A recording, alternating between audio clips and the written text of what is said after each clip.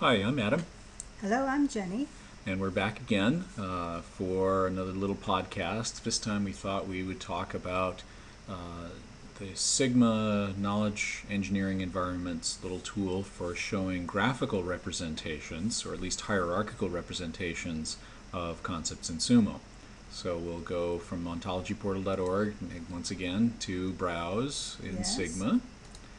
Um, so we'll start off looking at a particular term with a big hierarchy. So Process. process is a good one to start with. Uh, there's tons of process types. So this is our typical browser page. And what we want to do is see, for example, all of the subclasses of process. Yes, that'll be good. So we'll go to graph. Okay, and what we get here is one concept higher in the hierarchy and all the concepts one level lower than process.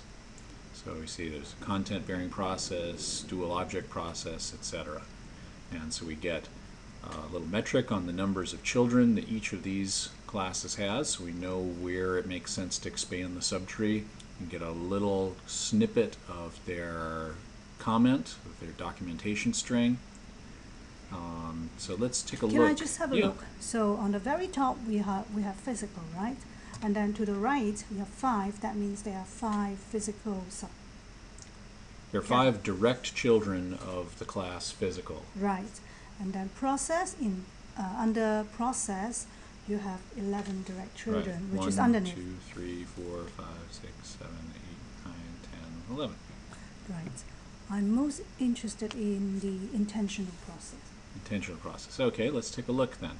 So if we go all the way over to the right and click on this little caret, uh, that gives us a graph that now instead of starting with process, is going to start with intentional process. Now I noticed because I remember having some trouble when I used when I did the exercise on process. I had to decide on some uh, restraint on the uh, agent. So here it said a certain process that has to be performed by a cognitive agent as opposed to a sentient agent and all that. Right? Yeah, so that's a good way to find out the constraint or the specification of certain variable or, or axiom that you use.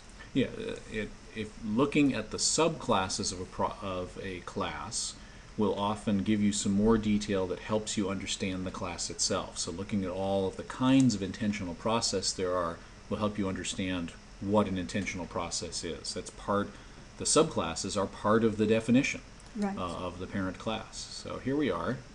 Let's take a look at all this. There are lots of subclasses, 29 of intentional process. Okay, so you can keep working your way down the hierarchy by clicking on Right. more specific links. There's another way to do this though. okay. Um, let's go back a little bit. Go back to process. right. We can actually look at levels below all on the same screen. We don't have to do it one level at a time. So if we want to look at two levels below, Right. we can go ahead and do that. Okay, now we get a more indented list, Okay. right, showing all the subclasses. That's more fun. Yeah.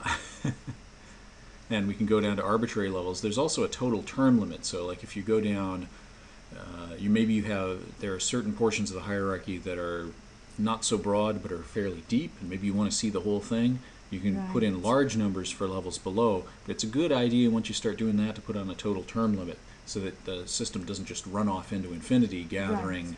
you know, all 10,000 uh, classes in Sumo that happen to be under some general Okay. general term. So normally what number would you recommend total term limits? Well, normally I don't actually don't use this. This is sort of a Okay. very special case thing. I, I normally just use you know two or three levels and browse from there. Sometimes it's also useful to go up a level, but Right. uh, less less often. Right. Shall we try put a three there and see what happens? Yeah, it's going to start getting a little big, but I think it's still manageable. Okay. Right. Now you can start seeing we got several more levels indenting. Yeah, we're looking at intentional process. Intentional process, right? Like recreation or exercise, and then game itself has Right. has more. If we go down to four levels, then we'll get the subclasses of game and so forth. Right. What's the dot mean? Dot means uh, there's no subclasses. I see. Right. Okay. So let's uh, let's do one other thing. So for folks that uh, are not used to doing full logical theories in first order logic, if you're used to lighter weight ontology languages, um, you may think you may have a feeling that this is kind of all there is, right? We're just going to browse based on class and superclass. But in a formal ontology like Sumo, there's a lot more than just superclass and subclass. Okay. Um, we can look at whole hierarchies of different things. There are actually several of these taxonomic-like uh, sets of relations uh, in Sumo. So in addition to subclass, we also have sub-attribute. Instead of typing it out, I'll do this. And let's let's look at. Uh, well, let's see. We should find. It we have to find an attribute. Uh, so process, of course, doesn't have any sub-attribute relations.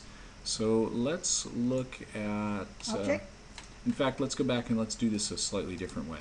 Let's go back and look at some attributes so we can, because a sub-attribute is actually a relationship between attribute instances, not attribute classes, right? Right. So let's try to look at some interesting attributes. So let's look at position.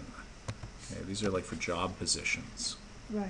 Okay, so let's find a, see if we can find an interesting instance like uh, Governor? governor. Governor is an instance, uh, but it doesn't have any sub attributes. So actually, let, let's try another method. Maybe I'll find this fist faster. Let's look at sub attribute itself as a relation. That'll give us some examples we can follow.